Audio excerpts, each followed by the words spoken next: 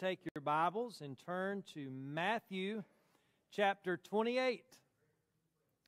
Matthew chapter 28.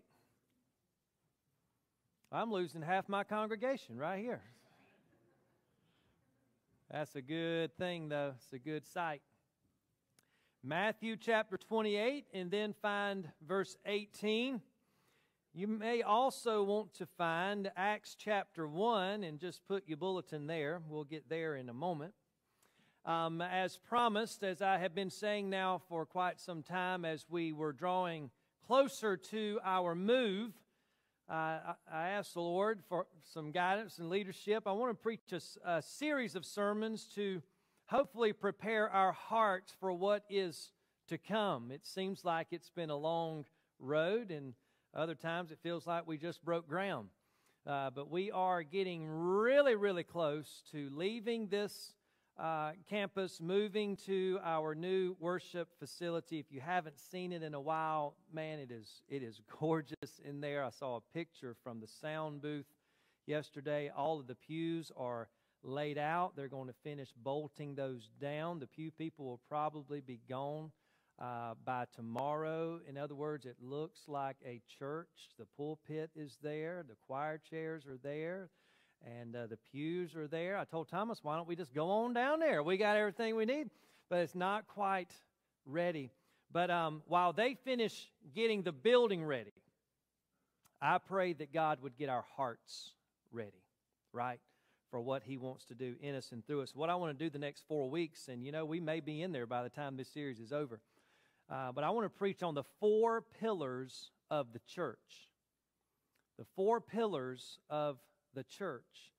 And uh, we're beginning today with pillar number one. And really, none of these are given in order of, of providence or, or prominence. It's all just about four things our church must be built on if we are to do what God has saved us and called us to do. So today we're looking at pillar number one, the Great Commission. Let's stand together as we read these verses. You know them well. Um, probably not going to tell you anything today you have not heard before. But sometimes God certainly uses His Word to refresh our hearts and minds, to kind of recalibrate us to what we're supposed to be doing. If you're there, say amen. Verse 18 And Jesus came and spoke to them, saying, All authority has been given to me in heaven and on earth. Let's just hit pause already. All right, so before we get to the commission, let's focus on the commander. This isn't a Baptist idea. This isn't a Jamie idea, which we'd all agree Jamie has great ideas. This isn't a Jamie thing. This isn't something me, Matt, and Colin developed in a staff meeting. This is the Word of God. Say amen. All right, we're on the same page that the Bible is the uh, Holy Spirit inspired Word of God. And if you have a Bible like mine, these aren't just words, these are the red parts. What does the red parts mean? It's literally what Jesus said. And he says, All authority has been given to me. In other words, listen, because you need to pay attention to what I'm about to say. And here's what he said Go therefore and make disciples of all the nations baptizing them in the name of the Father and of the Son and of the Holy Spirit, teaching them to observe all things that I've commanded you, and lo, and aren't you thankful for this? I am with you always, even to the end of the age. May God bless the reading of His Word. You can be seated. It's been wild, hadn't it, watching the Weather Channel and watching what's going on in other parts of the, of the country with snow and ice and loss of power and all of these things. I don't know if you're like me. I like a little snow. I like for it to start about 10 o'clock in the morning and stop about 3 o'clock in the afternoon, and then I like for it to be gone the next day. That's kind of how I like my snow. A very fluffy snow, very dry snow, just good enough to sled a few times and then be done. Uh, I've been thankful for where we're living. I can stand a little rain, uh, we're not covered in ice and we do have heat and electricity and all those things. But in the midst of that, this headline jumped out to me this week Pitchers and catchers report for spring training. How many baseball fans do we have? Do we have any baseball fans in here? So, what that means is uh, it's time for baseball to start. They're calling it spring training. A third of the country is under ice. And what's going to happen is these pitchers and catchers, it's nothing really exciting. They come together, these people that have played baseball their whole lives. And you know what the pitchers and catchers do? They throw that ball back and forth, time and time again, just working on the basic fundamentals. Pitchers and catchers report, then the rest of the team reports. They'll go over bunting, they'll catch fly balls, they'll work on the infield with double plays and all of those other things that on TV looks like it just it just comes natural. And the reason it comes natural is because they have drilled to the point that, that their bodies just just take over. I heard Nick Saban say one time, "We at Alabama, we don't practice till we get the play right. We practice till we can't get it wrong." That explains a lot of their success, doesn't it? What he's saying is, we not only have some of the best players, but we practice harder and we practice better and we drill the fundamentals. And I understand today that what I'm preaching is the fundamentals. And I know sometimes the fundamentals aren't very exciting, but I will tell you this if we'll be faithful in the fundamentals, then we'll see God do extraordinary things through our church. And that's what we all want. Amen? So let's, let's dive in here. First of all, note with me that we are called to go. We are called to go. Jesus says in verse 19, Go, therefore. He, he didn't say, Wait and see. And sometimes I think we as the church, we, we read this Great Commission and it sounds very good and we agree with it, but, but practically we're not really obeying what Christ has told us to do. Sometimes I get, I get the impression that we're kind of watching the stars and we're waiting on the signs of the times to tell us that Jesus is about to come, and if Jesus is coming tomorrow, then hey, let's get on this Great Commission today. Or if it looks like Jesus may be coming in six months, well, then we'll really ramp up our efforts. Now, here's the truth of the matter on the Word of God. I'm not going to stand up here and tell you when Jesus is going to come. And anybody that pretends to know the day and the hour Jesus is going to come, you need to ignore that person because Jesus said, No man knows the day or the hour. But here's my Here's my great, very deep theological truth I'm about to lay on you this morning. Are you ready? We are closer today than we were yesterday. And that may be Him right there calling to say that He's coming. I believe He is calling to tell you. But we are closer today than we were yesterday. And I do know this, and I believe this with all of my heart.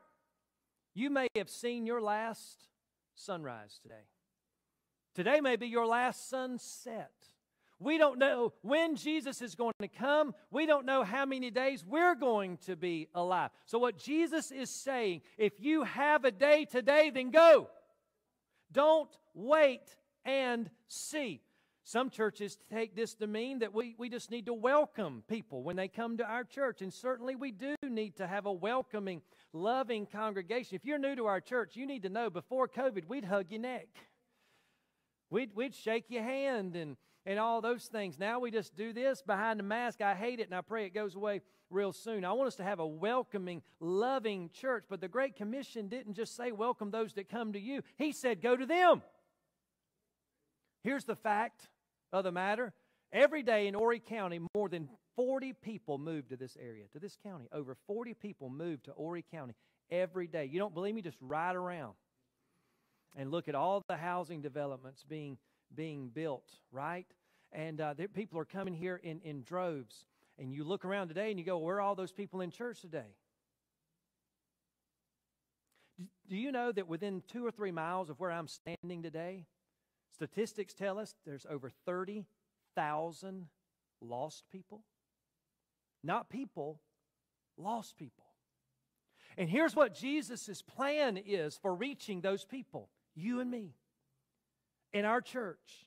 He says we need to go to them. Now, watch. Who is Jesus giving this great commission to? And you say, Preacher, I know exactly who he's giving this to. It's the deacons. Amen. The deacons need to go reach these people. Why are they here if they're not going? No, preacher, I tell you who it is. It's the people in full time ministry. He's talking to you, preacher, and he's talking to the other pastors, and he's talking. Well, I just lost a button. And he's talking to the full time missionaries. They need to go. But here's another reality for us to come to grips with and to understand If you claim to be a child of God, then you're a disciple. And Jesus is talking to his disciples, and he says to his disciples, Go, therefore. And you say, Well, I agree with you, Pastor. He's talking to the disciples, but he's talking to the disciples. He's not talking to me, disciples. He's talking to the disciples. Do you really think that God's plan to reach the world for all times was just for these 11 guys that have been dead for 2,000 years? Probably not. And you know what it means to be a disciple? I know you do because I've been preaching this for six years. It means to be a follower. It means to be a follower. So if you claim to be a follower of Christ, we need to take seriously the Great Commission. It is impossible to follow Jesus and not be burdened for and involved in the Great Commission. And part of that Great Commission is seeking the lost and sharing the gospel. In fact, Jesus said in Matthew 4 19, Follow me, and I will make you fishers of men. He didn't say, Follow me, and I'll make you a productive church member. I'll make you a faithful tither. No, he says, Here's a characteristic that will be real and true in every real and true follower of mine. If you follow me, you'll be serious about seeing lost people come to know me as their Lord and Savior. If you follow me, I will make you a fisher of men. I heard one church that adopted this slogan, and I, I think they'd be okay with us adopting it as well. They said, Found people, find people. If you realize today that God used somebody to bring you into a saving relationship with Him, that should burden and motivate you to do the same thing for someone else. And Jesus himself said, I have come to seek and to save the lost. And if we're going to follow him, we are going to seek to save the lost. That's a part of this great commission. It's what he's called us to go and do. So tell yourself right now, say, Jesus is talking to who? He's talking to me. He's talking to you. All right, question number two is where are we supposed to go? We know who he's talking to. Where are we supposed to go? Now flip over to Acts chapter 1 and verse 8. Here's what Jesus said again, red letters. He says, But you shall receive power when the Holy Spirit has come upon you, and I'll get to that in a minute.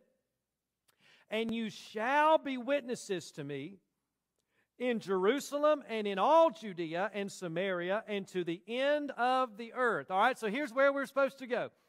When service is over, we'll go to the airport and we'll fly over to Jerusalem to be witnesses for Christ, right? That's what we have to do. He said we need to go to Jerusalem and Samaria and Judea and, and all that, that stuff. No, he's talking to those people. Here's what he's saying you need to go to three places. Number one, you need to go into your community. When he said you need to go to Jerusalem, that's where they were. He said, You need to go close by. Jamestown Baptist Church was planted in Conway, South Carolina for this purpose to reach Conway, South Carolina for Christ. It's what we're here to do. We, we should be a, a lighthouse in this community, not a trophy case of our goodness but a lighthouse to our community that sends the good news of the gospel to every man, woman, boy, and girl. There are physical needs that need to be met in this community. There are social needs that meet, need to be met in this community, and we play a part in that. I believe that's a part of mission sometimes. But nothing takes precedence over the fact that God has called us to share His glorious gospel with lost people. We need to go into Conway. We need to go to Horry County. We need to go to UCLA. If you're new here, that's Upper Conway, Lower Aynor. We need to go everywhere we can locally with the gospel of Jesus Christ. But that's not it. He says you need to go in Jerusalem and in all Judea and Samaria. Not only do we go to our community, but we go to our country. We're to work together with other Christians to saturate the United States of America with the gospel. North America, Canada. We are to be witnesses of the gospel of Jesus Christ in Conway and in the United States. You say, well, how can we do that? Well, really, we partner with other people, right? We have the North American Mission Board and the Southern Baptist Convention. That's a great way to do it. We partner with missionaries. We, we fund mission efforts. Sometimes we get on a bus or an airplane and we go outside of Horry County to work with missionaries and church plants in the hopes that we can help them reach people in their community. It's what He's called us to do. God didn't just call us to save people just like us. We're to be burdened for Conway, but not just Conway. We need to be burdened for the state of South Carolina. We need to be burdened for the Southeast. We need to be burdened for the whole United States of America. We need to be burdened for, for Maine and um, Arizona and, and Washington and, and Florida and all points in between. We need to be burdened that those people just like our people come to know Jesus Christ, not only that, our community and our country, but the continents. Did you catch what Jesus said at the end? And to the end of the earth. In other words, Jesus is saying, I want this gospel of mine to go everywhere. Do you know we still have so many people groups in this, in this world that have never heard the name Jesus? They've never heard his name. There are people who have yet to hold a copy of God's Word in their hand in their language. As Southern Baptists, we partner with the International Mission Board and we support missionaries. Gideons International, we support them. They, they put copies of the Word of God all over the globe. And we're grateful for these people. We, we pray for them, and sometimes we leave our country. Jamestown in the past has been to Belize. We've been to Canada, and there's a lot of places we can go. But sometimes we don't go physically, but we go spiritually and we go financially and we partner with people on the ground already there. It's what God has called us to do. And you say, Pastor, that is such a big task. It was a big task, Pastor, when you said there's 30 to 40,000 within three or four miles of our church. Now you've included the world, the globe, six billion people. It's a big task, but we serve a big God. Did you hear what Jesus said in Acts 1 8? He says, But you shall receive power. When the Holy Spirit has come upon you, it's the power of the Holy Spirit that works in us and through us to reach the world with the gospel. Anytime God calls us to a task, He equips us to do it. And He's given us this Holy Spirit to work in us. Do you know when you share the gospel of Jesus Christ, the Holy Spirit's working? When you share the Word of God, the Holy Spirit's working. I don't have any confidence today in my ability to preach or my, my talent or, or education or anything. Here's what I have faith in the power of the Holy Spirit to take His Word and implant it in your heart and bear fruit. I've seen Him do it with some of the sorriest sermons I've ever heard, my own. And I've preached some sermons I thought should, should go to the Sermon Hall of Fame and God not do anything. And I've preached sometimes and thought, what a big old mess that was. And four or five people get saved at the end. You know why? Because it's not about me. It's the help of the Holy Spirit. You say, Preacher, I can't be a witness. I can't be a fisher of man. I've never been to seminary. I hadn't even been saved long. Well, man, you can be like the woman at the well. She got saved and went back to town, and several people came to know Christ. You say, I don't know, know much about the Bible, but you know what He's done in your own heart. And you share that with other people. But here's really what I want you to see. I don't know if I've ever really made this, driven this, this point home, but God has also established the church to accomplish the Great Commission. Ed Stetzer said it this way, and I've never, I've never said it this way. He said, More than the church has a mission, the mission has a church if, if, if, you're like me, you need to hear that again. He said, More than the church has a mission, the mission has a church. And here's the truth I want you to see today before we move down there. Sometimes we think God gave us the church, and a part of being the church is this mission. We need to think about it this way Christ has given us this mission, and to help fulfill it, He's given us the church. Have you ever thought about it that way? that the reason God established His church wasn't just so we could come together on Sunday mornings at 11 o'clock sharp and stop 12 o'clock dull, sing a couple of songs, listen to a sermon, th- throw some money in a plate, and go home. Friend, we're here for more than that. He established the church to fulfill the mission. So listen, if we're not about the mission, we may as well sit right here where we are and put that other building up for sale. In fact, if we're not about the mission, we're really just going through the motions here, guys. I love coming to church. I like the songs we sing. I like seeing you and fellowshipping and having a good time. But we're not here just for that. We're here to motivate one another and to equip one another to accomplish the mission. This great commission isn't a lone wolf thing that he sent just me out, he sent us out to do it. All right? Are you still with me?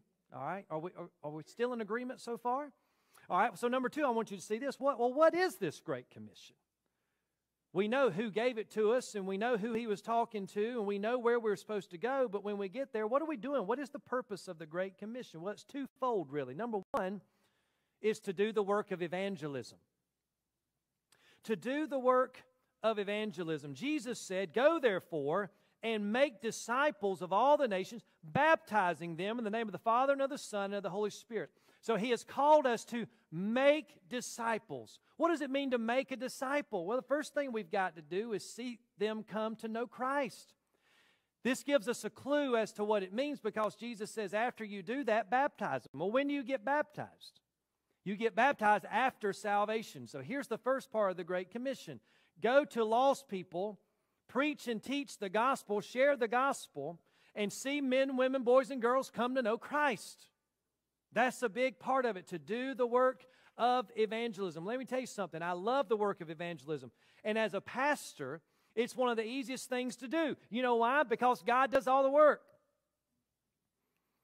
Because I share the gospel or I preach a message, and the Holy Spirit of God quickens the lost person's spirit opens their blinded eyes, enlightens their mind to the truth that they're sinners in need of a Savior, and Jesus died for their sin, was buried, and rose again. The Bible says Holy Spirit does all that work. All I'm doing is preaching or sharing the gospel or, or my testimony. That, that's it. And what happens is a miraculous thing. The Bible says they are quickened, they are raised from death to life. And God does all that, and it happens in an instant. And then the Bible says the first thing that needs to happen after a person is saved is they need to be baptized. And you know, maybe you need to hear that today.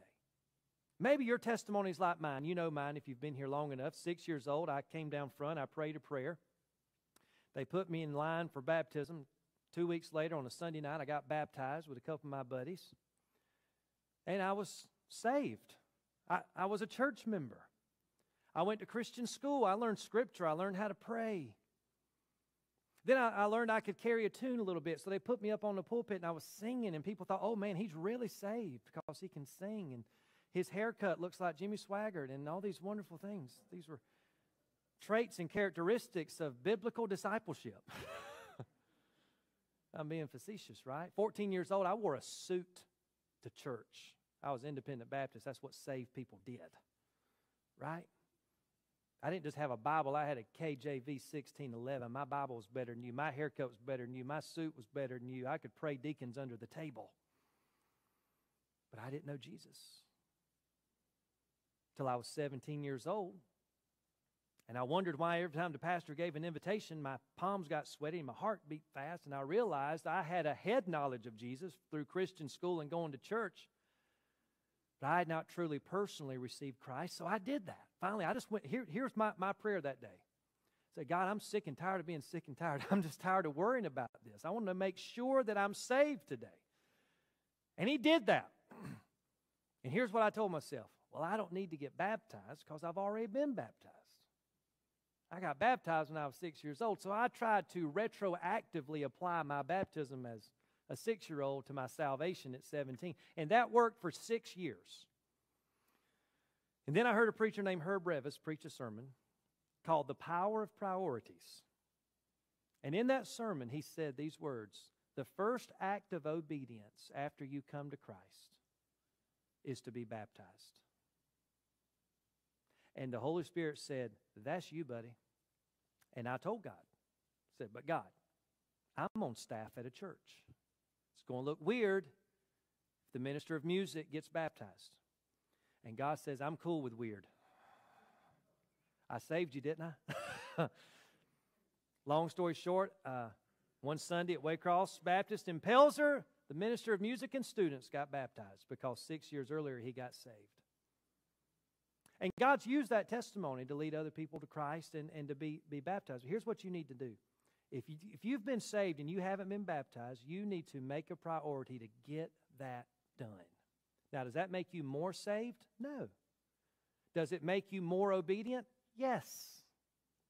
And God uses that as a public profession of what God has done in your heart, and it gives testimony to salvation. We are to do that. That's a part of the Great Commission. You know why we have a big old tub we're going to fill up to baptize people? Because it's not just because we're Baptists, we're, we baptize because Jesus said that's what we're supposed to do.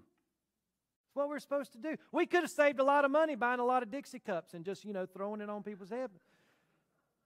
I'm sure that was discussed at some point in time. We could even get the Walmart cups, save money, not even get the Dixie cups, right?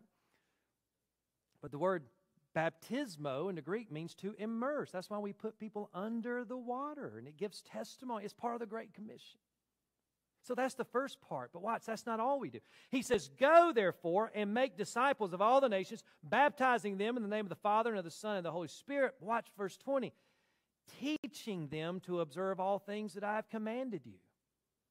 And lo, I am with you always, even to the end of the of the age. Now, Jesus is talking about the process of discipleship. Salvation happens in a moment, baptism happens one day, but discipleship lasts a lifetime. I ask our nine o'clock service this uh, Have you ever been to one of our discipleship graduation services? Anybody? Have you ever been there? I see you're, you're kind of panicked. You're going, oh, they must do that on Wednesday night. No, if we did have discipleship graduation services, it probably would be on, uh, on Wednesday night. But we don't have discipleship graduation services here. You know why? Because you never graduate from the school of discipleship. It is a lifelong pursuit. You don't move your tassel from one side to the other and get your degree in discipleship until you get to glory. We're all involved in the process of discipleship. And discipleship involves a couple of things. First of all, it involves a direction, it's a process. Jesus said, Follow me and I'll make you fishers of men. Making something takes time. Becoming a disciple and a true followers of Jesus Christ, it's, it's a process. Now, I've been saved since I was 17. I'm more like Jesus at 46 than I was at 20, but I'm still not there yet.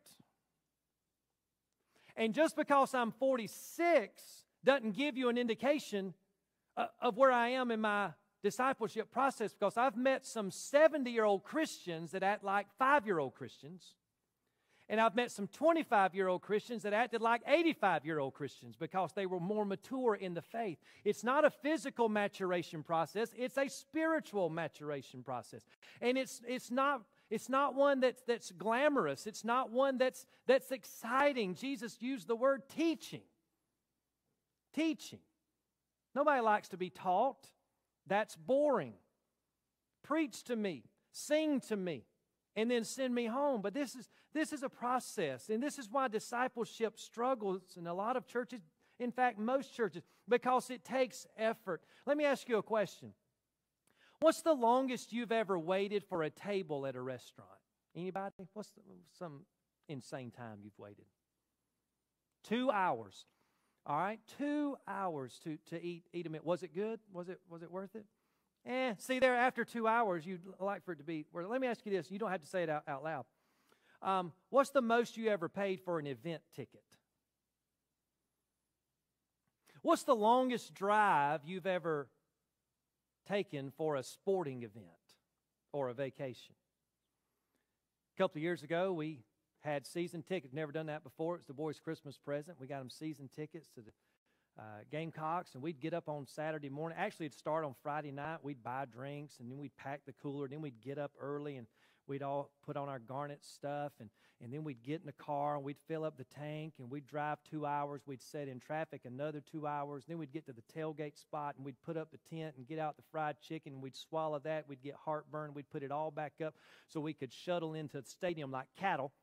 And then we would get inside and we'd sit in our seat, which was really like half a seat, and you're surrounded by 82,000 of your closest friends, and they're drinking and spitting and cussing and sweating all over you, and you sit through that game. It may rain. If it's not raining, it's probably going to be hot and sweaty and humid, and you pray that it goes into overtime, and then you go back out to your car and you pack all that stuff back, back up into your vehicle so you can get in line for more traffic, drive two hours home. By the time you're home, you're exhausted and you're broke. And you know what you say?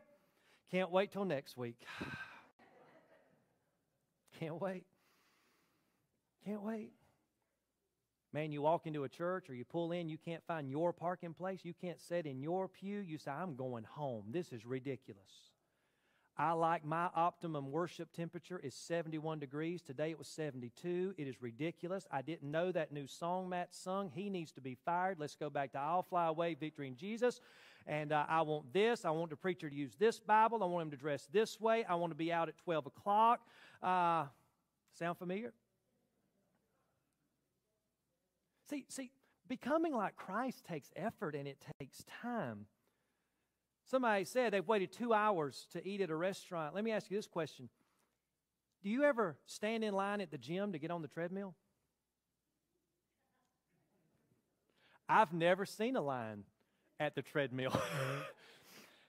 I go to Planet Fitness. I've never had to wait in line to get on the elliptical. But man, when I go to Outback, I have to call ahead. And there's a lot more restaurants than there are gyms. Here's the point I'm trying to make food feeds the flesh, but exercise builds the body. What's more fun? Feeding the flesh. You know why discipleship is hard? It's because it takes effort. It's, it's getting on the, on the treadmill. We may pack it out on Sunday morning or revival, or if we have the kingdom, uh, the Kingsmen here. But now Wednesday night, there'll be a lot of seating. When we have a witness training, you can spread out, you can social distance at that. Sunday school traditionally runs at about half of what worship attendance runs because it's harder, it takes more effort, but it's what He's called us to do. So, this Great Commission involves more than just being saved, it means growing in your relationship with God. Are y'all still with me? We're almost done. What does this all mean for us? Why did I pray and ask God to, uh, to give me something on, on the Great Commission? What does this mean for us as we move here? What do I mean by recalibrating? Here's what I mean. Even when a church means well, sometimes the things we do become more important than the reason we're doing them. One of the four things we need to be built on that's woven into the fabric and DNA of everything we do is the Great Commission. The other things we're going to be looking at are love for one another. We're going to be looking at the Word of God, and we're going to be looking at worship. Everything else we do as a church stands on those four pillars. And if what we're doing doesn't fit under one of those four pillars, then we don't need to be doing those things. It's not what God's called us to do. So, what it means then to be a great commission church, it means we'll not become the Jamestown Country Club, a place for recreation with like minded people that look like us, of the same tax bracket it won't simply become the Jamestown Social Club where we have different groups seeking to advance their cause or their preferences. We're the Jamestown Southern Gospelers or the Jamestown Contemporary Worshipers or the ones advocating for social changers. It also means we'll not become the Jamestown political headquarters for the Republicans or the Democrats. So help me God as long as I have anything to do with it. We'll never have a candidate for office stand behind the pulpit of our church. Is it because they're sinners? No. But the minute you put a candidate behind the pulpit and they have an R behind their name or a D behind their name, you alienate and turn off every other lost person of the other political party. And God hadn't called me to fill the Senate with Republicans or the Congress with Democrats. He's called me to reach men, women, boys, and girls with the gospel. I have voting preferences. If you want to talk about it, we can do that outside of this church. But here, it's gospel above all. Gospel above all. It means we'll not become the Jamestown Concert Hall where we gather to sing our songs in our styles or to have big concerts with big groups, even though I love it. What it means is this great commission will guide, determine, motivate, and permeate everything we do. Why do we do Sunday school? So we can help each other grow in the knowledge of the Word. Why do we have children and youth programs? Not just for babysitting, even though that's great. It's to train up our children in the way they should go. Why do we have witness trainings? So people can learn to share their faith. We need to be about the Great Commission. And one of the things that will tell us whether or not we are a Great Commission church will be our church budget. If it's serious to us, if it's a priority, it will show up there. It will show up in our budget. It will show up in our uh, programs. It will show up in our preaching and in our singing that we are about the Great Commission. But not only does it mean something for us as a church, it means something to us as people. What does this mean to you? You see, the Great Commission is both a corporate and a personal call. You say, what do you mean by corporate? I mean, it's something our church should strive together to fulfill but it's also something I should be striving to fulfill. I want to ask you a question. I asked myself this question in putting this, this together. Where are you as a disciple? I preached a whole series on this a little over a year ago. You can probably find the messages on, on YouTube. It's, it's not because they're great messages, but it's just a great message from God's Word. It's, it's what He's called us to do. We need to identify where we are on our journey as believers. Are you a Christian infant? Maybe you're a new believer. Or maybe you got saved a few years ago, but you hadn't started reading your Bible or praying or doing any things like that. You're probably a Christian infant. You can't feed yourself yet. You, every, everything you're getting right now, you're getting from me or somebody on the radio or maybe a family member. But maybe you got saved and you got baptized and you joined a Sunday school class and now you're beginning to grow in the Word.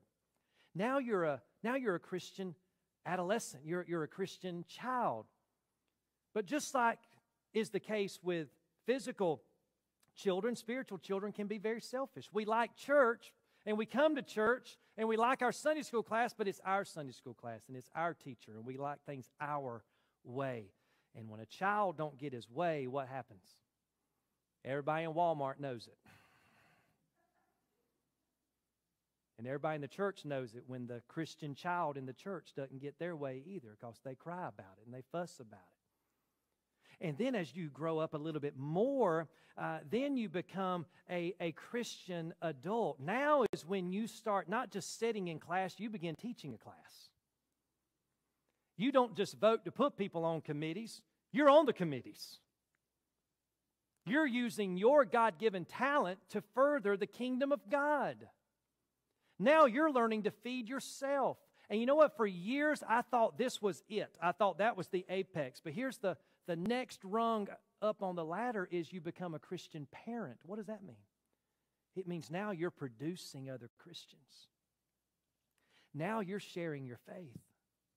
Now you are helping somebody else grow in their faith. Now you're a Sunday school teacher and you say, you know what, tomorrow I'm going to go visit so and so. They're sick, they're in the hospital whenever we're allowed to do that again. But instead of going by myself, I'm going to take Matt with me because Matt's kind of new at this and he's never done it before, but I can tell he's trying to grow in the Lord. So I'm going to take him so he can watch me. I want to go knock on some doors But I want to take Brad with me because I think Brad would be a good witness for Jesus Christ, and uh, I want him to see how I do it, and maybe that'll help him become a better witness. Hey, that, that, that person I buy my coffee from or where I get my haircut, clearly I'm talking coffee for me, haircut for you. I'm not sure they know Jesus, so I want to invite them to our church, or I'm going to ask them if I can share my testimony. You see how, as, as you grow up, how you respond to others changes. Where are you as a disciple? And listen, if you're not where you should be, I'm not here to beat you over the head with this Bible. I just want to challenge you to take the next step. Take the next step. What are you doing to make disciples? Where are you in your discipleship journey? Uh, because I, I hope you'll serve with me through this church, but ultimately, this is a personal decision between you and God.